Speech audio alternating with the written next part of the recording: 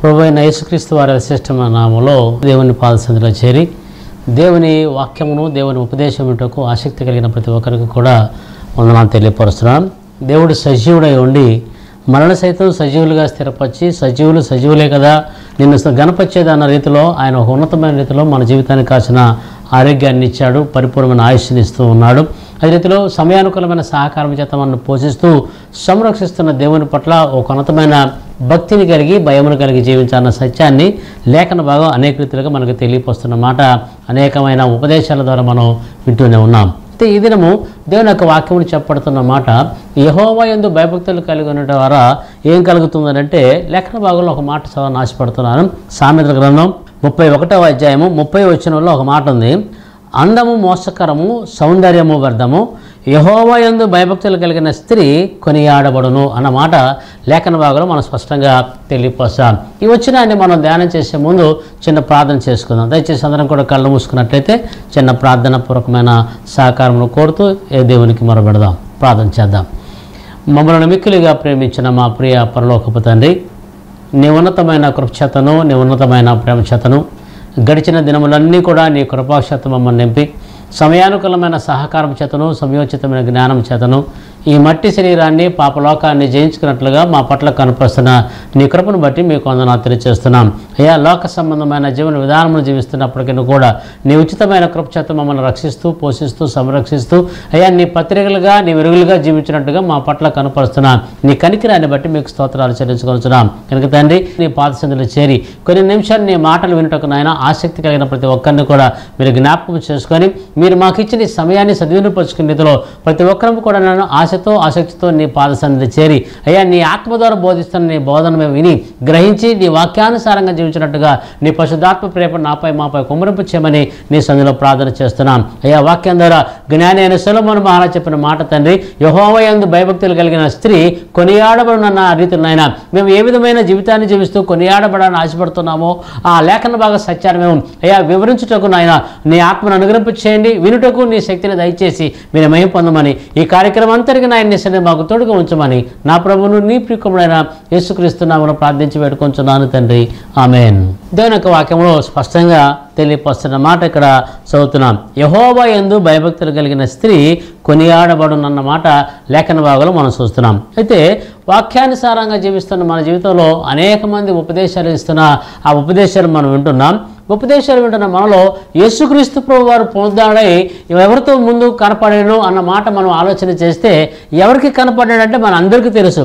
ఒక స్త్రీకి కనపడాలన్న ఆలోచన మనం జ్ఞాపకం చేసుకుంటూ ఉంటాం. ఇక ఒక స్త్రీ అంటే ఆ స్త్రీ ఎవరు? ఆ స్త్రీ గుణగణాలు ఏంటి ఆ స్త్రీ యొక్క ఆంతర్యం ఏమిటి అన్న సత్యాన్ని మనం పరిశీలన చేయగలిగితే ఒక ఉన్నతమైన ఆలోచన విధానం మనం గ్రహించగలం. ఎందుకంటే లోకంలో జీవిస్తున్న ప్రతి ఒక్కరూ కూడా అనేక రీతిలుగా యేసుప్రభు వారు పొందాడే మొట్టమొదటిగా స్త్రీకే కనపడ్డాడు కనుక స్త్రీలుగా ఉన్న మేమందరము కూడా ప్రకటించుటకు అర్హులమే. సువార్తను ప్రకటించుటకు అర్హులమే అన్న ఆలోచన ప్రతి స్త్రీలో కనపడుతుంది. అంటే ఈ స్త్రీ యొక్క గుణగణాన్ని సొలమన్ మహారాజ్ తన జీవితంలో ఒక ఉన్నతమైన ఆలోచన కలిగిన వాడు ఉండి అనేక మంది స్త్రీల గుణగణాల గురించి అక్కడ సామెత గ్రంథం మనకు తెలియపరిచిన మాట మనం చూస్తున్నాం. ఎటువంటి స్త్రీలను ఆయన పరిశీలన చేశాడంటే కొన్ని మాటలు జార స్త్రీల గురించి తెలియపరుస్తున్నాడు. పరస్త్రీల గురించి తెలియపోస్తున్నాడు చెడు స్త్రీల గురించి తెలియపోస్తున్నాడు అదే రీతిలో కపటము గల స్త్రీల గురించి తెలియపోస్తున్నాడు రెండవది కాముకురాలైన స్త్రీల గురించి నెనరు గల స్త్రీ గురించి వివేకము లేని స్త్రీల గురించి జ్ఞానవంతురాలైన స్త్రీ గురించి మూడురాలైన స్త్రీ గురించి వేసి అయిన స్త్రీ గురించి నశింపచేయు స్త్రీ గురించి భయభక్తులు కలిగిన స్త్రీ గురించి ఈ సామెతల గంధర్వం పొందుపరిచిన విధానం మనం చూస్తున్నాం. కనుక తనకు అనేక రకాలైన దాసదాసులు ఉన్నారన్న సత్యాన్ని లేఖన భాగం మనకు తెలియపరుస్తుంది. మనం అనేక మంది బోధకులు చెప్తున్న మాట మనం వింటున్నాం. కానీ అనేక మంది దాసదాసులు కలిగిన సొలమోన్ మహారాజు దేనివల్ల మోసపూరితమైన ఆలోచనతో ఈ లోకంలో జీవించి దేవుని సన్నిధిని కోల్పోయాడంటే ఇటువంటి స్త్రీల వల్ల అన్న సత్యాన్ని ఆయన ప్రస్ఫుటంగా తెలియపరుస్తున్న మాట మనం చూస్తున్నాం. ఎటువంటి స్త్రీలు అంటే ఇప్పుడు చదివిన ఈ కనీసం పన్నెండు రకాలైన స్త్రీల గురించి ఆయన మనకు తెలియపరచారు ఎక్కువగా ఆయన లేఖన భాగంలో తెలియపరిచిన స్త్రీ ఎవరైనా ఎవరైనా ఉన్నారంటే ఆ స్త్రీ భయభక్తులు కలిగిన స్త్రీ గురించి అక్కడ ప్రస్తుతంగా మనకు తెలియపరిచారు. నిజానికి యేసుప్రభు వారు కనపడేది స్త్రీకే కానీ ఆ స్త్రీ ఎటువంటి గుణం కలిగిన స్త్రీ అన్న మాట మనం ఆలోచన చేస్తే నేను అనుకుంటాను ఆమె దేవుని ఎందు భయభక్తులు కలిగిన స్త్రీ అన్నమాట లేఖన భాగాలు మనకు స్పష్టంగా తెలియదు. అందుకనే ఇప్పటికీ కూడా ఆయన పునరుద్ధరణ తిరిగి లేచి దేవుడి దగ్గరికి వెళ్ళినప్పటి నుంచి కూడా ఆ స్త్రీని కొనియాడబడుతున్నాము గణపరచబడుతున్నాము. ప్రతి లేఖన భాగంలో ప్రతి బోధలో ప్రతి సంఘంలో కూడా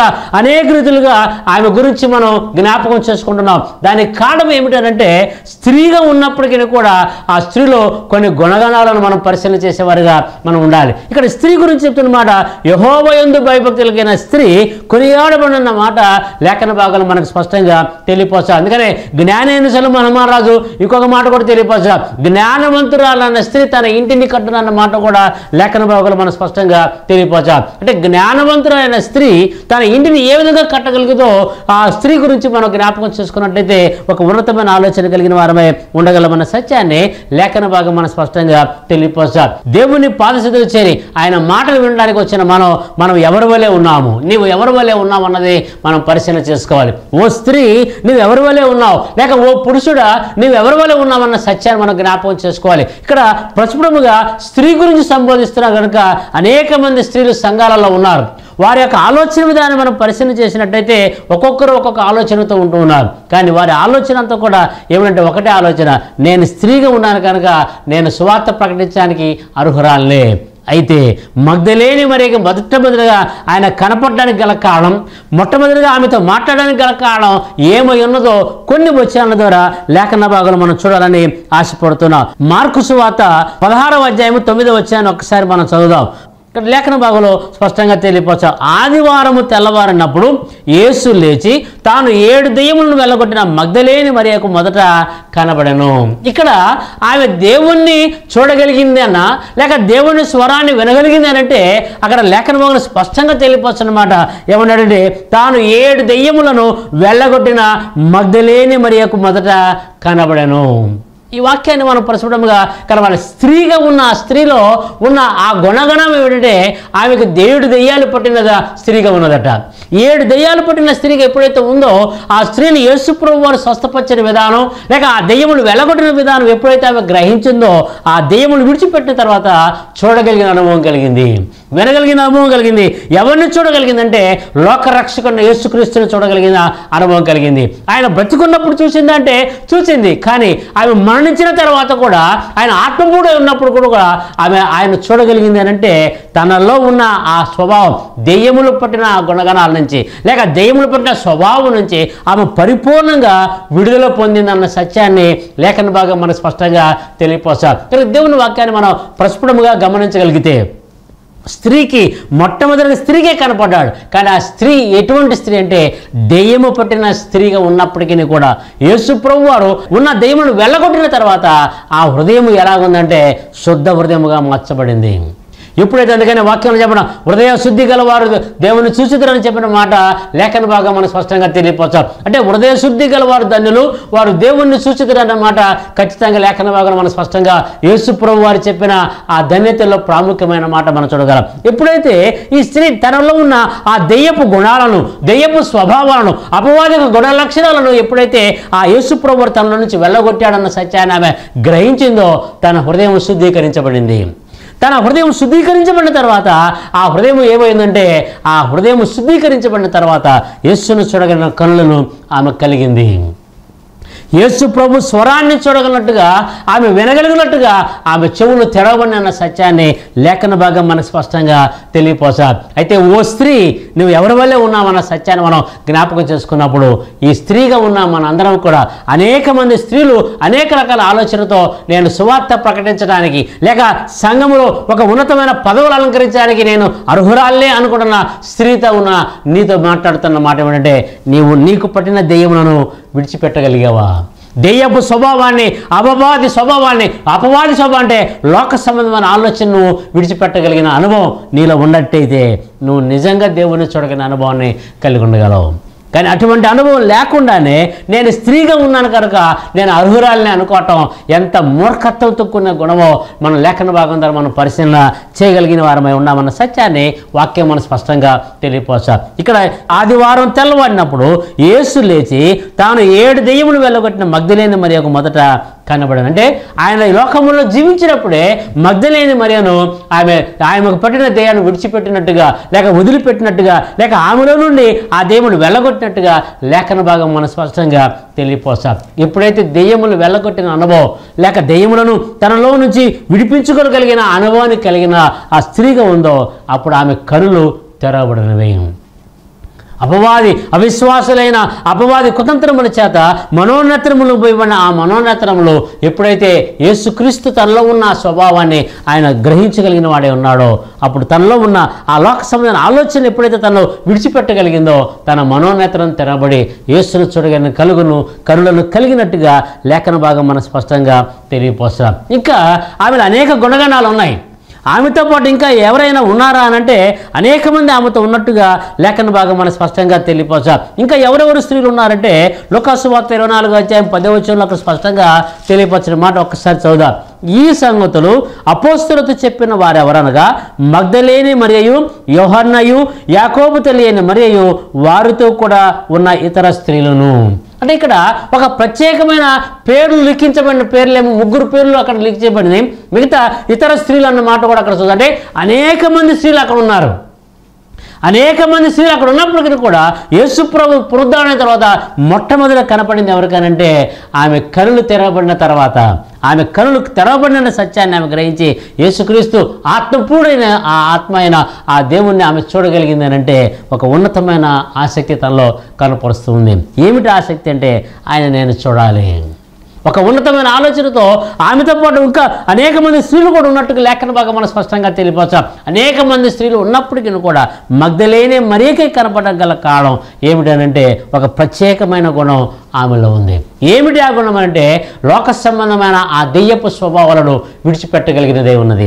ఎప్పుడైతే యేసు ప్రవర్తలో నుంచి దెయ్యాలను వెళ్ళగొట్టడానికి ప్రయత్నం చేశాడో వెళ్ళగొట్టబడినట్లుగా తన విశ్వాసాన్ని కొనసాగించినట్టుగా లేఖన భాగం మన స్పష్టంగా ఎప్పుడైతే దెయ్యములు విడిచిపెట్టగలిగిన అనుభవం లేక దెయ్యములు తనలో నుంచి వెళ్ళగొట్టే అనుభవం తనలో కలిగిందో అప్పుడు యేసుక్రీస్తును వెంబడించడానికి ఒక ప్రత్యేకమైన పరిచరికురాలుగా పరిచారకురాలుగా ఉపచారం చేసే స్త్రీగా ఆమె లోకములో జీవించినట్టుగా లేఖన భాగం మనం స్పష్టంగా తెలియపోస్తాయి. ఇంకా ఆమె ఏ గుణం ఉందనంటే అనేక మంది స్త్రీలు అక్కడ ఉన్నారని వాక్యం స్పష్టంగా తెలియపోస్తారు కానీ మగ్ధలేనే మరి కనపడడానికి మొట్టమొదటి గుణం ఆమెలో ఉన్న ఏడు దెయ్యపు స్వభావాలను యేసుప్రభు వారు వెళ్ళగొట్టాడు వెళ్ళగొట్టిన తర్వాత ఆమె ఒకటే ఆలోచన చేసింది ఏమిటంటే నన్ను బాగు చేసిన నా దేవుడు నన్ను రక్షించిన నా దేవుడు నా కొరకు ప్రాణమిచ్చి పునదాడైన యేసుక్రీస్తు కొరకు నేను బ్రతకాలి ఆయనతో నేను జీవించాలి ఆయన కొరకే నేను జీవించాలి ఒక గొప్ప విశ్వాసయుతమైన జీవిత విధానమును కలిగి ఆయనను వెంబడించినట్టుగా లేఖన భాగం మనం స్పష్టంగా తెలియపస్తున్న మాట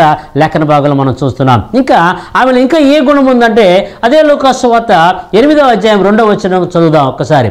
పన్నెండు మంది శిష్యులను అపవిత్ర ఆత్మలను వ్యాధులను పోగొట్టబడిన కొందరు స్త్రీలను అనగా ఏడు దెయ్యములు వదిలిపోయిన మగ్ధలేనే అనబడిన మరియు హేరోదు యొక్క గృహ నిర్వాహకుడు కూజ భార్య యొక్క యహోనాయు సూసన్నయు ఆయనతో కూడా ఉండిరి. వీరును ఇతరు అలనేకులు తమకు కలిగిన ఆస్తితో వారికి ఉపచారం చేయించవచ్చిరి అంటే ఒక ఉన్నతమైన గుణాన్ని అక్కడ తెలియపోస్తున్నమాట అంటే యేసుక్రీస్తుకు ఒక ఉన్నతమైన ఆలోచన తెలియగలిగిందనంటే ఆమె కాకుండా అనేక మంది స్త్రీలు కూడా ఆయనకు ఉపచారం చేయించు వచ్చిరన్నమాట. లేక ఉపచారం అంటే పరిచర్య చేసిన అనుభవం. ఆయన ఎక్కడికి వెళ్ళినా ఆయనకి ఏ అవసరత ఉందో ఏ కావాలో ఎటువంటి అవసరత ఉందో అన్న సత్యాన్ని ఎరిగిన వారాయనే. ఆయన ఎక్కడికి వెళితే అక్కడికి వెళుతూ ఆయనకు ఉపచారం చేసిన స్త్రీలో ఒక ప్రత్యేకమైన స్త్రీగా మద్దలేని మరి ఉన్నట్టుగా లేఖన భాగం మన స్పష్టంగా తెలియపోతుంది అందుకని అక్కడ అంటాడు పన్నెండు మంది శిష్యులను అపవిత్ర ఆత్మలను వ్యాధులను పోగొట్టబడిన కొందరు స్త్రీలను అనగా ఏడు దెయ్యములు వదిలిపోయిన మగ్ధలేనే అనబడిన మరియు అనే మాట అక్కడ స్పష్టంగా తెలియపోసాం. అంటే అపవిత్ర ఆత్మలు వ్యాధులు పోగొట్టిన కొంతమంది స్త్రీలు ఉన్నారు.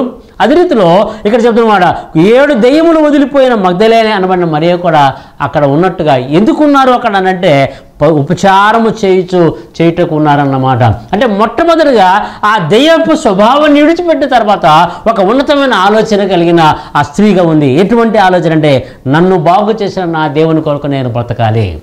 నన్ను స్వస్థపరిచిన నా ఏసఐ కొరకు నేను బ్రతకాలని ఒక ఉన్నతమైన ఆలోచన కలిగి తన కొరకు తన స్నేహితుల కొరకు తన బంధువుల కొరకు కాకుండా యేసు కొరకు ఆమె బ్రతకడానికి ఒక ఉన్నతమైన నిశ్చయిత కలిగి ఆయన వెంబడిస్తూ ఆయన మామూలుగా వెంబడించడం కాదు ఉపచారము చేయించు ఆయన వెంబడించినట్టుగా లేఖన భాగం మనం స్పష్టంగా తెలియపోతాయి ఇదే మాట మనం మత్స్య వార్త ఇరవై ఏడు యాభై ఐదులో కూడా మనం చదవగలం. యేసునకు ఉపచారము చేయించు గలే నుండి అనగా వెంబడించిన అనేక మంది స్త్రీలు అక్కడ దూరం నుండి చూచుచుండరి. వారిలో మధ్యలేని మరియు యాకోబు యోసే అను వారి తల్లి అయిన మరియు జబదే కుమార తల్లియు అక్కడ ఉండరి. అంటే ఆయనను వెంబడించే విధానం ఏమిటంటే ఊరికి ఆయన పేరు చెప్పుకోను ఆయన నామాన్ని స్మరిస్తూ కాదు. ఆయనకు ఉపచారము చేయించు వచ్చిరన్నమాట ఎక్కడి నుంచి? ఉపచారము చేయించు గలిలే నుండి ఆయనను వెంబడించి అనేక మంది స్త్రీలు అక్కడ ఉండి ఆయన జరుగుతున్న సంఘటనలు వారు చూస్తూనే ఉన్నట్టుగా లేక చూస్తూ ఉన్నారు కానీ ఆ భయంకరమైన ఆ శిలువ ఆ శ్రమను చూసి వారు పారిపోయిన వారు కానే కాదు అన్న సత్యాన్ని లేఖన భాగం మనం స్పష్టంగా తెలియపోస్తాం రాబోతున్న దినాల్లో క్రైస్తవ జీవితాన్ని జీవిస్తున్న మనకి ఈ ఇటువంటి పరీక్ష మనం ఎదుర్కోబోతున్నాం. ఓ స్త్రీలారా నాతో మాట్లాడిన దేవుడు మొట్టమొదటిగా స్త్రీగా ఆయన నాతో మాట్లాడాడు. నాలాంటి వాడితో మాట్లాడాలనుకుంటున్న స్త్రీ రేపు పొద్దున ఇటువంటి సమస్య నీకు రాబోతుంది. ఏమిటంటే లోక సంబంధమైన ఆలోచనతో నువ్వు నిజంగా యేసును అంగీకరించావా? నువ్వు నిజంగా యేసుక్రీస్తుని కలిగి ఉన్నావా అని ఎవరైనా నేను అడగలిగితే నువ్వు ధైర్యంగా చెప్పగలిగిన అనుభవం నీలో ఉండగలిగితే నువ్వు ధన్యురాలివే. ఎందుకనగా లోక సంబంధమైన శ్రమలు మనల్ని ఆ విధమైన పరీక్ష చేయబోతున్న ఆ దినాలు రాబోతున్నాయన్న సత్యాన్ని. అందుకని దుర్దినములు అన్నమాట లేఖన భోగలు మనం చూస్తున్నాం. దుర్దినములు రాకముందే మీ జీవిత విధానాన్ని జాగ్రత్తగా చూసుకొని చెప్పిన మాట కూడా వాక్యం స్పష్టంగా దుర్దినములు అంటే మనం జీవించే ఈ జీవిత విధానం కాదు. రేపు పొద్దున యేసు కొరకు సాక్షిగా నిలబడటానికి రా ప్రశ్నించబోయే ఆ సమయం రాబోతుంది.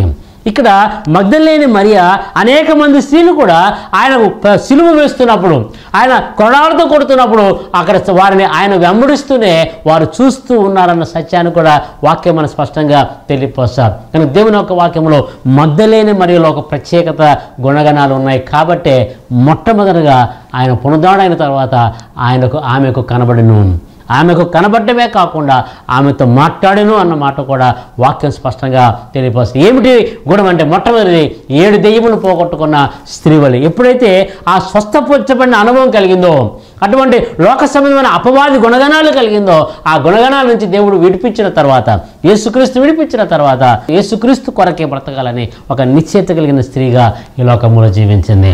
ఇంకా అందుకనే ఏ విధంగా అంటే ఏదో మామూలుగా ఆయన పేరు చెప్పుకొని బ్రతకడము లేక ఆయన మాటలు ఏదో రెండు మాటలు చెప్పి బ్రతకడం కాదు. ఆయనకు ఉపచారము చేయుటకు ఒక ఉన్నతమైన ఆలోచన కలిగిన స్త్రీగా ఉన్నదన్న సత్యాన్ని వాక్యం మనం స్పష్టంగా తెలియపోసాం ఇదే మాట మార్కు భక్తుడు కూడా తెలియపోసాం మార్కు స్వాత పదిహేనవ అధ్యాయము నలభై ఒకటి వచ్చిన కూడా ఒకసారి మనం చదువుదాం. ఆయన గలిలయలో ఉన్నప్పుడు వీరు ఆయనను వెంబడించి ఆయనకు పరిచారము చేసిన వారు వీరు కాక ఆయనతో ఎరుసలేమునకు వచ్చిన ఇతర స్త్రీలు అనేకులు వారిలో ఉండరి అన్నమాట. లేఖన భాగం మనం స్పష్టంగా తెలియపోస్తాం నలభై వచ్చిన కూడా చదివితే ఆ మగ్ధలేని పేరు కూడా అక్కడ స్పందంగా పుస్- పొందుపరచబడింది. వారిలో మగ్ధలేని మరియు చిన్న యాకోబు యోసి అన్న వారి తల్లి అయిన మరియు సలోమేయు ఉండిరి. ఆయన గలిలయలో ఉన్నప్పుడు వీరు ఆయనను వెంబడించి ఆయనకు పరిచారము చేసిన వారు అన్నమాట లేఖన భాగం మనకు స్పష్టంగా. అంటే ముగ్గురు సువార్థికులు కూడా ఈ మగ్ధలేని మరి గురించి కొనియాడబడుతుండే కారణం ఏంటంటే తను కలిగిపచ్చిన ఆ ఉన్నతమైన భక్తిని బట్టి భయభక్తులు కలిగిన స్త్రీగా ఈ లోక ఎప్పుడు భయభక్తులు కలిగిందనంటే లోక పాపమును మోసుకొని పో గొర్రెపిల్లగా ఈ లోకానికి వచ్చిన ఆయన పాపపు స్త్రీగా ఉన్న ఆ స్త్రీని ఒక ఉన్నతమైన రీతిలో విడిపించిన విధానం బట్టి రక్షించిన విధానం బట్టి విమోచించిన విధానం బట్టి యేసు కొరకే బ్రతకాలని ఒక గొప్ప నిచేత కలిగింది. ఎప్పుడైతే లోకములో ఉన్నప్పుడు ఆయన కొరకు బ్రతికేది జీవించింది తర్వాత కూడా ఉపచారము చేస్తున్న ఆ స్త్రీ యేసును శిలువపై మరణించిన తర్వాత సమాధులు పెట్టబడిన తర్వాత కూడా ఆమె ఎక్కడ ఉంది ఏం చేసిందనంటే కొన్ని వచ్చిన చూద్దాం మార్కు స్వాత పదహారవ అధ్యాయము. మొదటి వచనంలో ఆ మాట రాయబడింది. ఇంకా అవి ఎటువంటి ఆసక్తి కలిగిందో ఆ లేఖ ఆయన మరణించాడు. ఆయన సిలువపై మరణించాడు. సమాధి చేయబడ్డాడు. సమాధి చేయబడినప్పటికీ కూడా ఆ స్త్రీ యేసును వెంబడించడం వదిలిపెట్టలా. అక్కడ పదహారవ అధ్యాయం మొదటి వచ్చిన అంటారు. విశ్రాంతి దినము గడిచిపోగా మగ్ధులైన మరియు యాకోబు తల్లి అయిన మరియు సలోమియు వచ్చి ఆయనకు పూయవలని సుగంధ ద్రవ్యములు కొనిరి. అంటే కొన్నారంటే వారికి ఎటువంటి ఆసక్తి ఉంది? సమాధిలో ఉన్నాడు ఆయన. సమాధి చేయబడింది. ఆ సమాధికి అనేక రకాల శిలు వేయబడ్డాయి. ఆయన దాని చుట్టూ అనేక మంది సైనికులు ఉన్నారు. ఆ సైనికులు ఉన్నప్పటికీ కూడా ఆమె ఏమి చేయబడిందంటే ఆయన తిరిగి లెగుస్తాడన్న గొప్ప నమ్మకము కలిగింది. ఆయన పునదావుడవుతాడని నాతో మాతో చెప్పిన మాట ఆమె జ్ఞాపకం చేసుకొని ఆయన తిరిగి లేచి వచ్చినప్పుడు సుగంధ ద్రవ్యముతో ఆయన శుద్ధీకరించాలి. సుగంధ ద్రవ్యముతో ఆయన పాదాలు కడగాలని ఒక ఉన్నతమైన ఆసక్తితో ఏం కలిగిందనంటే సుగంధ ద్రవ్యములు కొనిరి అన్నమాట లేఖన భాగంలో మనకు స్పష్టంగా తెలియపోస్తాం మొట్టమొదటిది ఆమె యేస్సును వెంబడించడానికి ఒక ఉన్నతమైన ఆసక్తి కలిగిన స్త్రీగా ఉంది. రెండవది ఆయన ఎక్కడికి వెళ్ళినా ఆయన పరిచారం చేయటకు ఇష్టపడి ఆయన వెంబడించిన స్త్రీగా ఉంది. ఆయన మరణించినప్పటికీ కూడా ఆయన తిరిగి లెగుస్తాడన్న గొప్ప నమ్మకము తనలో కలిగింది. కలిగి ఏం చేసిందంటే ఆ స్త్రీలందరూ కూడా ఒక సుగంధ ద్రవ్యం. ఏమిటది? ఆయనకు పూయవలని సుగంధ ద్రవ్యములు కొనిరి అన్నమాట. అంటే కొన్నారు. సమాధిలో ఉంచబడిన తర్వాత ఆమె సమాధి చేయబడిన తర్వాత వారు వెళ్ళి సమ ఆమెను కొనుక్కొని వచ్చినట్టుగా లేఖనం అంటే ఒక ఉన్నతమైన ఆశ ఆసక్తి ఆ స్త్రీలో ప్రస్ఫుటముగా కనపడుతుంది. ఇంకా ఆమెను ఎక్కడ చేశారు ఏమి చేశారంటే ఒక వచనం చదువుదాం. మొత్తం శువార్త ఇరవై ఎనిమిదవ అధ్యాయము.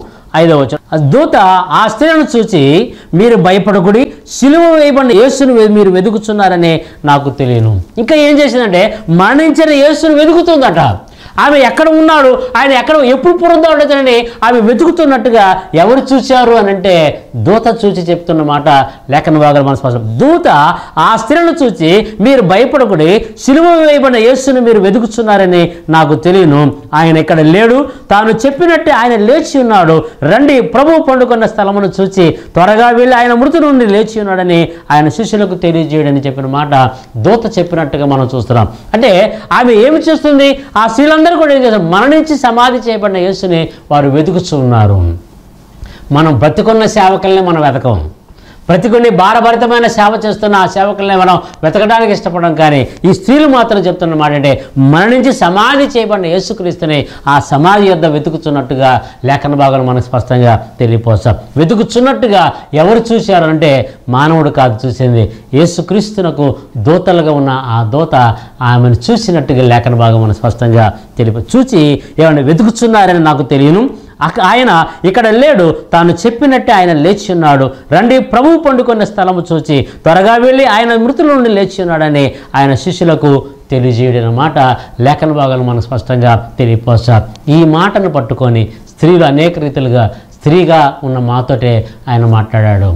ఒక భక్తి లేదు ఒక భయం లేదు ఒక విశ్వాసం లేదు ఒక యథార్థత లేదు ఒక నీతిమంతమైన జీవిత విధానం. ఇటువంటి ఏమీ లేకుండానే ఈ స్త్రీలు ఆలోచన ఏమంటే స్త్రీగా ఉన్న మాతోటే ఆయన మాట్లాడు మాకు అర్హత ఉంది మాకు అధికారం ఉందని చెప్పుకుంటున్న స్త్రీలారా నువ్వు ఎవరి వల్లే ఉన్నావు? ఒక్కసారి పరిశీలన చేసుకో. మగ్ధలేని మరి వలె నువ్వు ఉన్నావా? అయితే నువ్వు ధన్యురాలువే మగ్ధులైన మరి అంటే యేసుక్రీస్తు కొరకు నువ్వు బ్రతకలిగిన ఆయనతో కలిసి జీవించగలిగిన అనుభవం నీలో ఉండగలిగితే నీవు ధన్యురాలివే. అందుకనే కీర్తనకాడు పద్నాలుగవ అధ్యాయం రెండవ వచనంలో అంటాడు వివేకము కలిగి నన్ను వెతుకువారు కలరేమో అని యహోవ ఆకాశమును చూచి నరులను పరిశీలించారన్నమాట వాక్యం. అంటే వివేకము కలిగి ఆమె వెతికింది. ఎక్కడ వెతికిందంటే మరణించిన యేసును సమాధి వద్ద వెతికింది. జీవించుచున్న అంటే ఇప్పుడు ఆయన ఆదరణకర్తగా ఉన్నాడు వాక్యమైన దేవుని వెతకడానికి మనం ఇష్టపడం కానీ ఆ స్త్రీ చెప్పిన మాట ఏమిటంటే ఆమె మరణించిన యేసును ఎక్కడ వెతికిందంటే సమాధిలో ఆమె వెతికింది. అందుకని ఆమెకు వివేకము కలిగిన స్త్రీగా అది రీతిలో భయభక్తులు కలిగిన స్త్రీగా ఆమె ఇప్పటికీ కొనియాడబడుతుందన్న సత్యాన్ని వాక్యం మనం స్పష్టంగా తెలియపోసాం. అందుకని సొలమును మహారాజు రాసిన ఆ మాట మనం యహోవా యందు భయభక్తులు కలిగిన స్త్రీ కొనియాడబడును. ఎటువంటి భయభక్తులు అంటే ఆయన నామాన్ని కనపరచగిన స్త్రీగా ఆయన భయభక్తులు కలిగిన స్త్రీగా ఆయన కొరకు బ్రతకగలిగిన స్త్రీగా ఆయనకు ప్రచారం చేయగలిగిన స్త్రీగా ఆయనకు ఉపచారం చేయగలిగినట్లుగా ఆయన వెంబడించగలిగిన ఆయన వెతకగలిగిన స్త్రీగా నీవు నేను ఉండగలిగితే మనం కొనియాడబడే వారిగా మనం ఉండగలం. మనం ఏమి చేయం? కానీ నన్ను మెచ్చుకోవాలి నన్ను గనపరచాలి అని మనం అనుకుంటూ ఉంటాం. కానీ అది ఎంత మూర్ఖత్వంతో కూడా ఆ గుణమో లేఖన భాగం ద్వారా మనం పరిశీలన చేయగలుగుతున్నాం. ఓ స్త్రీ ఈ మాటలు మనం విన్నాం. మగ్ధలేని మరి యేసు ప్రభువు కనపడగల కారణం ఆమెలో కొన్ని గుణగణాలు ఆయన ఇష్టపడ్డాడు.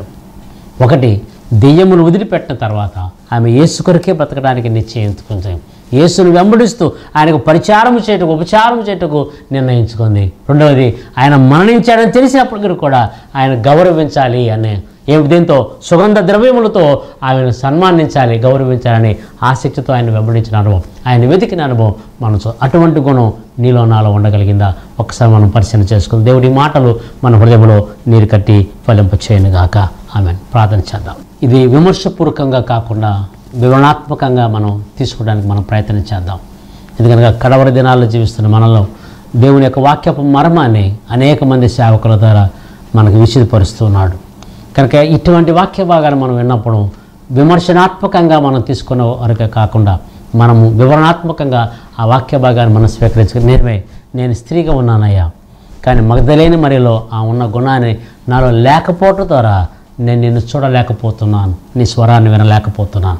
అయినప్పటికీ కూడా నేను అనేకులకు నేను అబద్ధ సాక్ష్యములు చెబుతూ ఈ లోకంలో జీవిస్తున్నానని ఒక మనస్ఫూర్తంగా మనం ఒప్పుకుందాం. ఎందుకనగా మన కుటుంబము ఆశీర్వాదకరంగా ఉండటానికి దేవుడు అనేక రీతిలుగా ఆయన ప్రేమ మన ప- పట్ల కనపడు. మన సంఘము అనేకులకు ఒక మాదిరికరమైన సంఘం ఉండటానికి ఆయన మన పట్ల తన కరికరాన్ని చూపిస్తున్న దేవుడే ఉన్నాడు.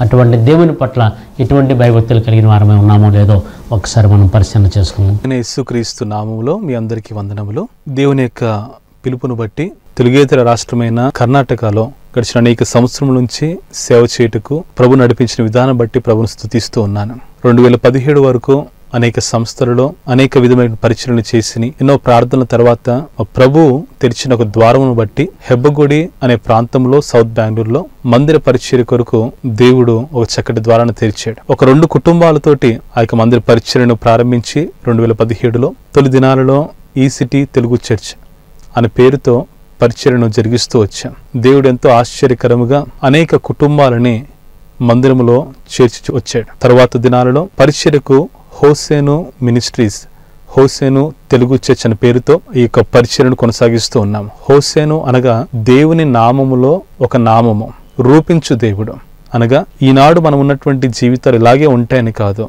మన జీవితాలు నిత్యము దేవుని హస్తముల ద్వారా నూతనముగా రూపించబడాలి అనే ఉద్దేశముతో ఈ నామము నుంచి పరిచయం కొనసాగిస్తూ ఉన్నాం. అనేక కుటుంబాలు చర్చ్ బట్టు ద్వారా ప్రస్తుతము అద్దెకు హాల్ తీసుకొని నడిపించబడుతున్నటువంటి స్థలము చాలకపోవటం ద్వారా మందిరం యొక్క అవసరతను బట్టి గడిచిన సంవత్సరాలలో చేసినటువంటి అనేక ప్రార్థనలు వాటికి ప్రతిగా ప్రభు ఒక స్థలమును మాకు చూపించి ఉన్నాడు. దేవుని యొక్క కృపను బట్టి భారమును బట్టి ఇక హెబ్బగుడి ప్రాంతంలో తెలుగు మరియు కన్నడ ప్రజల మధ్య మందిర స్థల సేకరణ మరియు నిర్మాణము చేయుట కొరకు ఈ గొప్ప పనిని చేయుటకు పూనుకొని ఉన్నాము. అయితే దేవుడు చూపించినటువంటి ఈ మూడు వేల చదరపు అడుగుల స్థలమును మరి కొనుగోలు చేయుటకు అదే రీతిగా అక్కడ మందిర నిర్మాణం చేయుటకు మీ అందరి సహకారములు విరాళములు నాకు ఎంతగానో అవసరమై ఉన్నవి.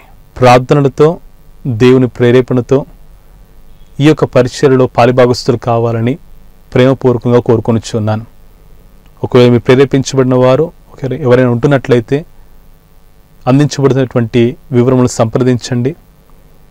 కనీసము ఒక అడుగుకైనా మీ వంతు వరకు సహకారం అందించి లేక దేవుడు ప్రేరేపించినటువంటి కొలది ఈ పరిచర్యలో మీరు పాలుభాగస్తులై అనేక తరములకు సంవత్సరాలకి సుస్థిరంగా ఉం- ఉండిపోయే ఈ దేవుని మందిర నిర్మాణ విషయంలో పాలిభాగస్తులు కావాలని కోరుకొనిచ్చు ఉన్నాం. ఇక్కడ ప్రతి ఒక్కరు పాలుభాగస్తులై ఇక్కడ మీకు ఇవ్వబడుతున్న వివరంలో మీరు సంప్రదిస్తూ మీ యొక్క ప్రేమపూర్వకమైనటువంటి కానుకలను విరాళములను అందించవలసిందిగా కోరుకొనిచ్చున్నాం ప్రార్థనలు చేయండి అనేకులు తెలియచేయండి. ఈ ఘన కార్యములో ప్రతి ఒక్కరు పాలిభాగస్తులు కాండి. దేవుడు మిమ్మల్ని దీవించును గాక ఆమెన్